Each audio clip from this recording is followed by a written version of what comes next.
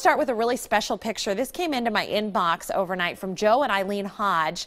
Uh, apparently, Eileen was at the Dollar Tree just off Mill Plain, and one of the other customers there paid for her purchases. So she decided, I want to go to the Humane Society and make a donation up in Southwest Washington there in Vancouver. When she was there, this adorable puppy was in the lobby, and she decided to adopt it to pay it forward for someone picking up the tab for her uh, at the at that Dollar Tree. So just an example that paying it forward worked, and now this dog, Candy, is going to have a wonderful life with Joe and Eileen. Thank you so much for that story. I loved hearing about that.